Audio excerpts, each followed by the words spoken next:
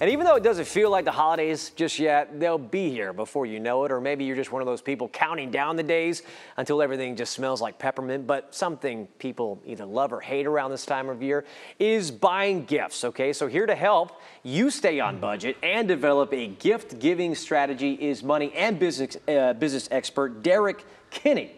CEO of Good Money Framework. Thank you so much for being here with us today, Derrick. My pleasure, Matt. Great to see you. Awesome, awesome. So we want to talk about, you know, first question is, you know, that this could be a stressful time for folks. Yeah. You know, what would you uh, give, you know, as far as advice, uh, money-wise, about how they can reduce that stress whenever they're buying gifts? Yeah, that's the goal. You know, we think about Christmas time, the holidays. It's supposed to be this joyous time, but it's often the most stressful time, and it's because there's so much money to be spent, Matt. And here's a way to alleviate that. Consider having a name drawing where if you're below a certain age in your family, everybody buys gifts for maybe the grandkids, the nieces and nephews, all the cute people in the family, you know. But people above that age consider drawing names where everybody gets at least one gift. What that does is it reduces down how much you have to spend, reduces down the stress you've got, and it can save you quite a bit of money. So it can alleviate a lot of the stress and anxiety many people have to buy all these gifts this time of year. And your next tip, if you want to decide that you're going to buy a gift or give the gift of time, I mean, tell us about that, you know, in, in relation to what you just said. Yeah, so many people buy things and then the kids or the grandkids have broken the toy the next day and you wonder, what was that for? But instead, think about this and, and the time you've got now to do it.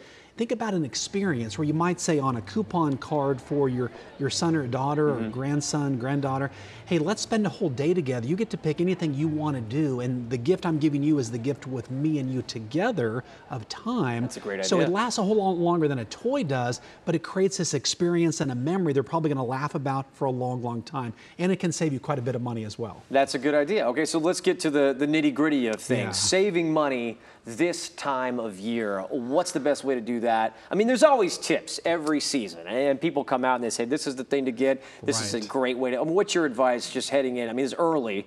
It's it's only September, everybody, but yeah. uh, or it's about to be October. But yeah. what's your what's your advice just so far as we head that way? Well, there's 90 days, so we've got 90 days. Three months is going to go by so fast.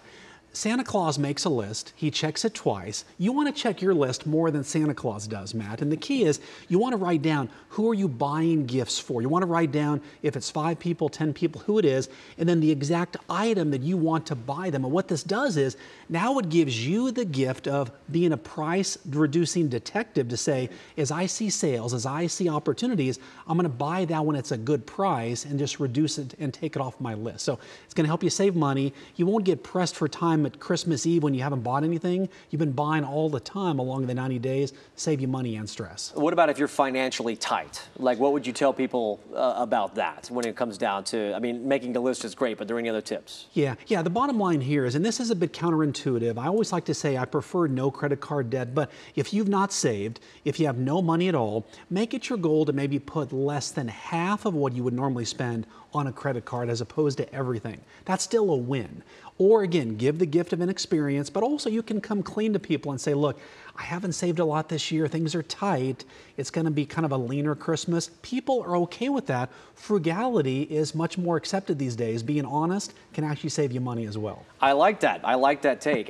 but the biggest thing to avoid is breaking the bank or accruing any sort of debt. It is. And the number one mistake, Matt, that everybody makes is, and to avoid this, don't buy gifts to impress people. When you buy gifts to impress, you're going to spend more than you have. You're going to pay for it for Christmases yet to come, and you're going to regret what you did Christmas night. Pay what you can afford, buy a gift that people like, but be comfortable and be you. Fantastic tips from Derrick here while we're talking.